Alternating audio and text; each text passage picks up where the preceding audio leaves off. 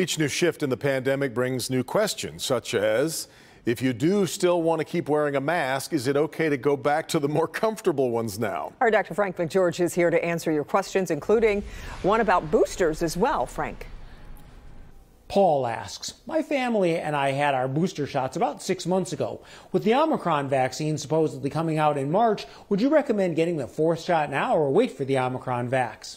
So, Paul, if you are currently fully vaccinated and boosted, there is no reason for an additional shot at this time, and I would actually wait for future CDC recommendations, especially with the potential for variant specific vaccines in the future. Now, here are some more of your questions. Sharon asks, now that the cases are going down from the Omicron variant, should we still stick to the KN95 masks, or can we go back to the daily disposable masks? Well, Sharon, if you're going to mask, using the best mask available to you is always the best option, but comfort is also an important factor, and you're right to suggest that we should adjust our behaviors to the current risk levels. In my opinion, cases have fallen quickly enough that going back to an ordinary mask is reasonable, assuming you're not in a crowd, indoors, or at high risk from COVID. Now, Lorraine asks Is the original COVID 19 still infecting people? Are the variants before Omicron still infecting people? According to the CDC's gene sequencing, at present in the United States, essentially 99.9% of infections are being caused by Omicron. The original SARS CoV 2 virus is no longer in circulation.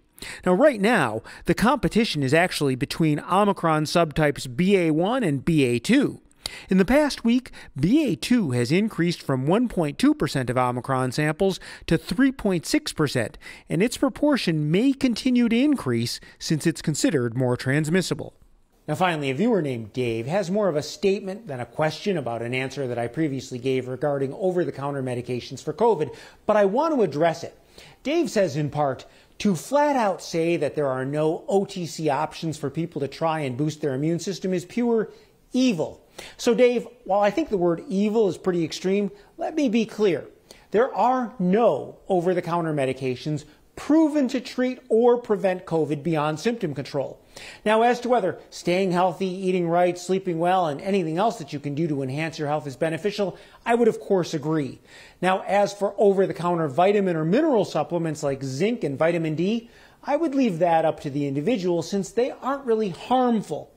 The only good science, though, at this point is that if your vitamin D levels are deficient, that is low, supplementing them to normal levels does appear to have a protective effect. Back to you.